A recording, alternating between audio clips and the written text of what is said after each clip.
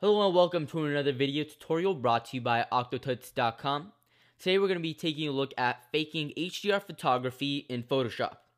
If you're not familiar with HDR photography, I've done a post on OctoGFX.com of a compilation of 35 fantastic HDR photographs. So I'll put the link in the video description below so you could check out some of these pictures so you know exactly what I'm talking about.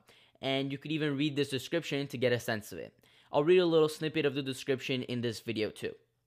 In a simplified sense, HDR, high dynamic range photography, is the process of taking multiple pictures at different exposures and combining them to get an amazing end result. When you combine a picture taken at a high exposure, low exposure, and normal exposure, you get a very fantastic effect. And these are very well shown um, in the collection of pictures that I have on this post. So we're going to be faking this process in Photoshop. We don't have three separate pictures taken at different exposures. We just have one picture and we're going to fake the effect. And actually, it's a lot simpler than you probably think it is. This is the HDR image that we will get in the end and this is the original image. As you can see, there is a huge difference.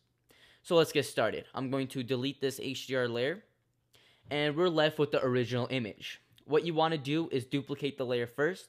So um, unlock the layer. If it's not unlocked yet, double click on the layer to unlock and press OK. And when it's unlocked, right click on the layer and click duplicate layer. And then just press OK.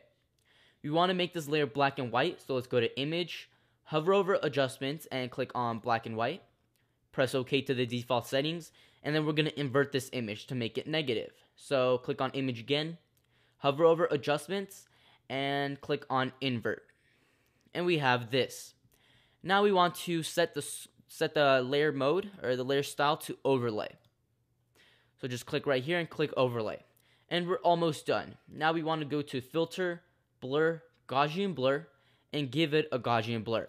Now the blur is going to depend on uh, what your image looks like or how intense you want the um, HDR result to look like. So give it no blur if you want it to look pretty bland um, give it a higher blur if you want it to look more fantastic and uh, dramatic. So I'll give it a blur with a radius of about 40 pixels and press OK. And that's it. We're done. Here is our faked HDR image. And it looks really, really cool. This is an effect that you could use on pretty much almost any image, but obviously it's going to look uh, better on some images than others. That's it for this video. Hope you guys learned something, and this is a very cool trick so that you could use in the future. Until next time, I will see you guys later.